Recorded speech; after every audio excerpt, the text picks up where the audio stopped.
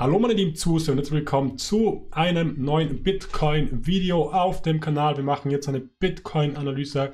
Es ist der 17.8., also Freitag. Ich mache morgen am Samstag noch eine Altcoin-Edition. Ihr könnt mir gerne in die Kommentare schreiben, was ich für eine Upload-Zeit machen soll morgen, ob ich das gleich am Vormittag raufladen soll, weil ihr dann auch zu Hause seid, bevor ihr irgendwas in der realen Welt macht, oder ob ich das am Nachmittag, Abend hochladen soll. Ich habe nicht so viel Erfahrung mit Upload-Zeiten am Samstag. Könnt, könnt ihr mir gerne in die Kommentare schreiben.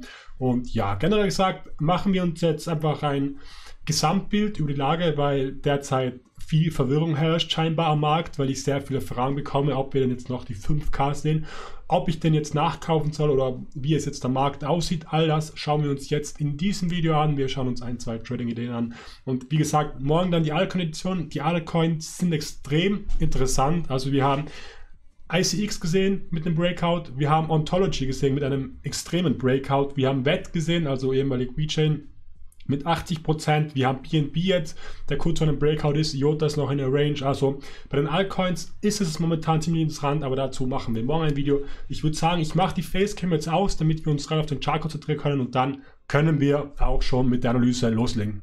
Und ich habe die Facecam jetzt auch direkt ausgemacht, damit wir den Chart wirklich schön analysieren können. Wir können uns den Weekly Frame gleich nochmal anschauen, aber ich bin jetzt gerade erst noch am Daily Time Frame. Weekly Time Frame ist eigentlich nicht so interessant. Wir haben hier einfach den Support noch gehalten. Das heißt, wir hatten hier eine sehr starke Supply Zone, die eben durch diesen Bereich gefestigt wurde. Das heißt, 5800 wäre schon eine extrem gute Buy Zone gewesen, aber wäre auch ein sehr aggressiver Ansatz gewesen, weil wir natürlich im Bereich 5800 noch keine Confirmation haben. Das heißt, ein Kauforder im Bereich 5800 wäre eher richtiges ja nicht richtig zocken, aber es wäre eher in Richtung Zocken, Risiko-Approach, als wie wirklich ein Setup zu haben. Weil wenn der Kurs hier runter pusht in dieser Kerze, woher sollt ihr wissen, ob der Kurs haltet? Das ist einfach Risiko.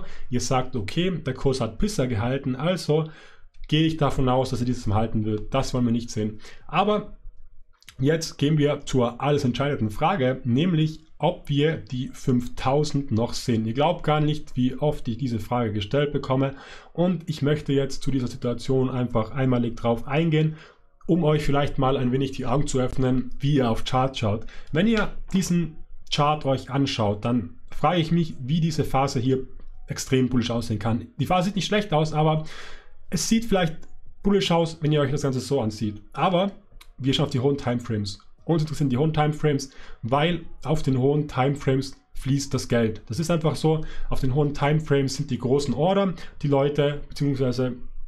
Ähm, die Institutionen, die im Markt sind, je nachdem welche Firmen das sind, die trainen nicht nach 5 Minuten Charts. Ganz einfach. Was sehen wir hier am Daily Chart? Wir sehen hier am Daily Chart ganz klassisch eine Range. Wir haben hier das Range Low. Wenn wir uns hier die Ray kopieren, dann haben wir hier das Range High. Wir haben zwei sehr signifikante Kerzen, nämlich diese Kerze hier. Ich kann gerade mal ein wenig ranzoomen. Diese Kerze hier ist signifikant und diese Kerze hier oben ist auch signifikant. Wenn wir uns das hier einkreisen. Warum sind diese zwei Kerzen signifikant? Diese zwei Kerzen, das waren jeweils zwei Stop-Hand-Kerzen. Was passiert in diesem Bereich? Hier sind die Lows von davor, das heißt, alle Leute, die hier long gehen, die von hier bis hier oben long sind oder die eben einfach hier ihre Long-Order geöffnet haben, die haben unter diesen zwei Kerzen ihre Stop-Order. Was heißt das? Hier ist Liquidität. Warum ist hier Liquidität?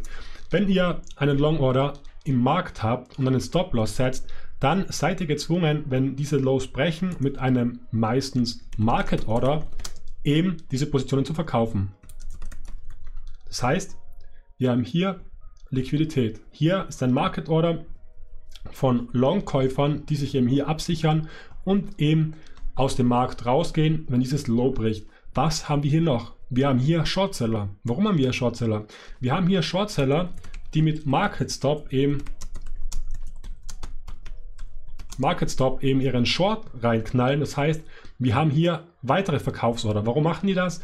Die Shortseller sehen, dieses Low hier bricht, wenn dieses Low hier bricht, dann sehen wir den nächsten Support, beziehungsweise haben wir eh keinen Support mehr in diesem Bereich. Das heißt, wir sehen dann höchstwahrscheinlich irgendwie ein 5600 bis 5000 Szenario. Wir haben jetzt hier zwei Arten von Liquidität. Einmal ähm, die Market Stop Short Seller und eben auch die Liquidität der Long Buyer. Ich hoffe, das ist verständlich. Wenn ihr das nicht versteht, könnt ihr mir das gerne in die Kommentare schreiben. Warum geht der Kurs dann hier nach unten? Leute mit viel Geld und auch Institutionen brauchen Liquidität, um Order zu füllen. Die können nicht einfach auf eine Börse gehen und eine Market Order machen, weil sie dann mit einer 50 Millionen Dollar Position das ganze Orderbook durchkaufen. Das funktioniert nicht. Sie brauchen Liquidität und sie wissen, wo die Liquidität ist. Sie wissen, wenn der Kurs in diesen Bereich geht, kommen extrem viele Sell-Order rein. Und was machen die mit diesen Sell-Ordern? Sie kaufen sie auf. Ganz knallhart. Die Sell-Orders werden aufgekauft und wir gehen nach oben. Das ist hier passiert. Okay, was haben wir hier in diesem Bereich? Das hier wird durch das hier eben ausgeglichen und das ist einfach das Gegenspiel auf der anderen Seite. Was haben wir hier oben? Wir haben hier auch sehr viele Stops. Wir haben dieses High geformt. Wenn ihr euch diese Kerze jetzt mal wegdenkt, dann haben wir in diesem Bereich diese Highs geformt, also diese Range Highs. Und wenn wir über diese Range Highs gehen, dann haben wir sehr viele Shorts, die eben zurückkaufen müssen mit Marktkauf. Wenn ihr Short im Markt seid, ist es auch ganz wichtig zu verstehen, falls ihr das nicht versteht, dreht die Geschwindigkeit zurück oder hört es euch nochmal an. Wenn ihr Short im Markt seid oder wenn andere Shortseller im Markt sind, um ihre Position zu schließen im Notfall, wenn der Kurs gegen sich selber läuft oder gegen die eigene Position, müssen sie zurückkaufen. Das heißt, sie generieren Liquidität für Long Order und sie generieren so Kaufliquidität. Das heißt, die kaufen alle hier und was passiert natürlich hier wieder? Ähm, in diesem Bereich ist Liquidität und hier wird nach unten gepusht wieder. Das heißt, was haben wir jetzt? Wir haben einfach eine Range. Wir haben diesen Stop-Hand durch diesen Stop-Hand ausgeglichen und wir sind jetzt einfach neutral sozusagen. Jetzt im Moment, bis wir aus der Range ausbrechen, sind wir neutral. Wir können uns hier das Range EQ anzeichnen, das heißt die Mid-Range, das Range Equilibrium. Equilibrium heißt Gleichgewicht. Das Range Gleichgewicht ist bei der 50% Retracement Ratio. Das wäre dann 6, 3, 13. Hier haben wir das Range EQ. Wir können die anderen Range Highs jetzt nochmal ein wenig dicker gestalten damit wir den Unterschied auch erkennen, wenn wir auf die niedrigeren Timeframes gehen. Und jetzt schaut mal, wie das Range EQ, also die Mid-Range, wie sich die auswirkt auf, den, auf die Range generell. Das ist die 50% Range.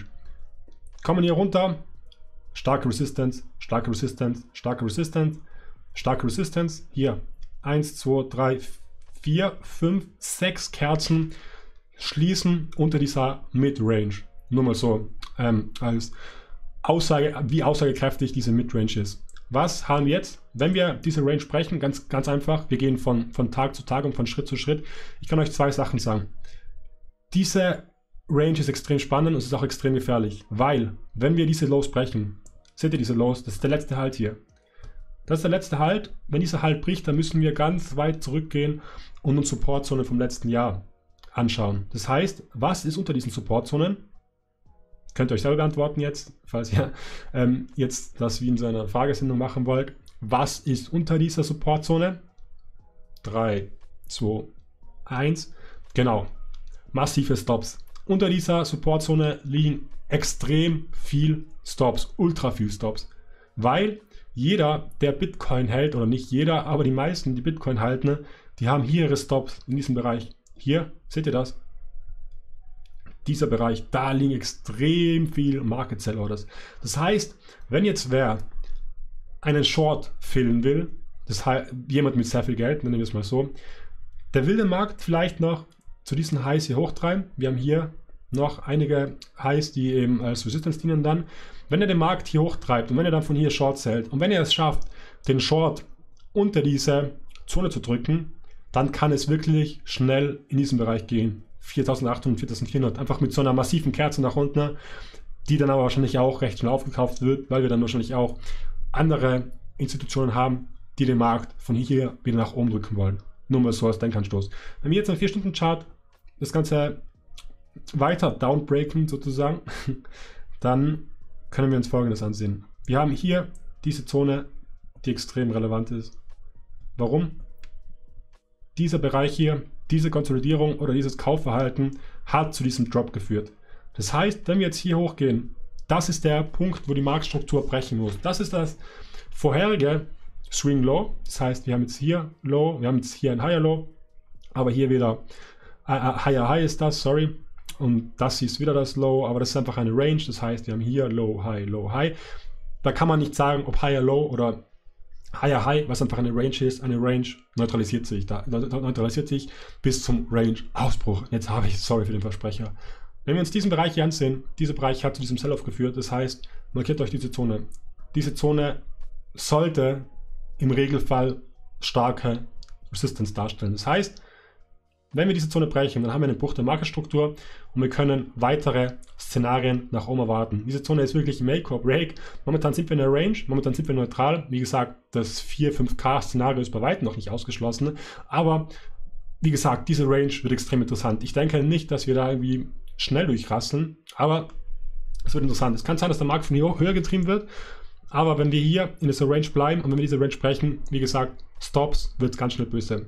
Warum erkläre ich das jetzt so? Viele haben von technischer Analyse ein relativ falsches Anschaubild oder eine relativ falsche Vorstellung. Technische Analyse ist nicht dazu da, zu sagen, der Markt geht jetzt auf 7800. Auf keinen Fall. Technische Analyse ist dazu da, um zu sagen, wenn wir diese Range brechen, dann würden wir ein neues High machen. Wenn wir hier ein neues High machen, dann wäre zum Beispiel hier ein guter Einstiegszeitpunkt für einen Long, wenn wir die vorherige Resistance wieder testen. Und das sind wirklich sehr, sehr starke Setups. Hier wäre auch ein Setup gewesen, wenn ihr die Range spielen wollt. Hier einfach die Range kaufen, zur Range hoch und dann als Target das Range High. Das sind auch massive Setups, massive Setups. Wirklich, diese Prozent, prozentualen Gewinne addieren sich extrem auf. Wobei ich jetzt kein Range Trader bin. Ich habe hier einen Trade genommen heute, der wirklich nicht meinen Regeln entspricht. Am 5-Minuten-Frame. Wir können gerne auch mal ein Video machen zu den verschiedenen Frames. Ich bin konkret hier long mit einer 20.000 Kontraktpunkte-Position, weil es sich sonst nicht rentiert. Das heißt, für so kleine Swings, jetzt nicht falsch verstehen, sorry. Ähm, dieser Move hier nach unten, das war das, das letzte Swing Low. Das heißt, ich habe diesen Dip gesehen. Ich habe gesagt, wenn wir hier rein tippen, will ich ein Käufer sein. Wenn wir dieses Low brechen, dann will ich aus dem Markt raus. Ich habe das Scalp genommen, das Target hier oben, ja, keine Ahnung, 2% sowas waren es. War ein Trade, der jetzt keine High Probability Setup ist. Ihr müsst es immer unterteilen zwischen hoher Wahrscheinlichkeit, niedriger Wahrscheinlichkeit und mittlerer Wahrscheinlichkeit. Aber kann man als Scalp schon mal nehmen, weil wir haben hier diese Range, hier, hier. Ja, generell gesagt, will ich das Video jetzt kurz nochmal zusammenfassen. Ich hoffe, ich konnte euch einen Einblick geben, wie denn der Markt momentan aussieht und ja, wie das Spiel der Kräfte ist. Ihr müsst euch den Chart wirklich genau ansehen und dürft nicht in irgendwie eine, in eine Bias verfallen, weil ihr jetzt seht, okay, wir haben auf den 5 Minuten Chart einen Run, das ist ein, ein bullisches Szenario. Wenn ihr euch den Daily Chart ansieht, sehen wir ganz klar eine Range. Wir wissen, wenn diese Range bricht, wird es extrem gefährlich. Extrem, weil da haben wir so viele Stops, die da unten liegen, da wird so viel gesellt. Das wird richtig, richtig blutig wahrscheinlich. Wir haben aber auch die Möglichkeit, was jetzt ziemlich danach aussieht, wenn, ihr, wenn wir uns jetzt die Charts ansehen, wir pushen ziemlich am Ende dieser Range. Das heißt, wir könnten einen Range Breakout sehen, der wahrscheinlicherweise ziemlich auf die 6800 zurennen wird und da oben Resistance finden wird. Wenn wir die 6800 dann wirklich nachhaltig brechen können, das heißt, ein nachhaltiger Bruch, der würde in etwa dann so aussehen. Ich versuche gerade noch das Drawing Tool zu finden. Hier. Das heißt, erwarten würde man irgendwie sowas, dass er vielleicht dann auch mal zurückkommt und dann für die Breakout Buyer dann nochmal eine Chance gibt. Oder sowas und dann nochmal diese Range testen und off we go. Wobei momentan die Wahrscheinlichkeiten für beides einfach sehr schwer einzuschätzen sind. Was ich für positiv befinde, ist, dass wir uns jetzt über diesem Range IQ befinden, also über der Mid-Range. Wir haben jetzt hier Support etabliert über der Mid-Range und wir müssen jetzt eben schauen, ob diese Range gebrochen wird oder ob es nochmal einen Run nach unten gehen wird. An dieser Stelle äh, bedanke ich mich für eure Aufmerksamkeit. Ich hoffe, ihr habt ein Video was lernen können. Ich möchte jetzt wirklich so oft wie möglich wieder Videos machen, fast täglich, um einfach jeden Tag Content zu bringen, jeden Tag Sachen zu analysieren, Coins zu analysieren, Forex, Crypto um euch einfach Einblicke zu geben, was im High Probability Setups sind, wie man dieses Setup spielt. Ich kann euch das hier auch bei Ontology zeigen. Ontology war wirklich krank. Wenn ihr euch Ontology anschaut, wir haben, ups, ich brauche USDT, weil da meine Range, Range ist.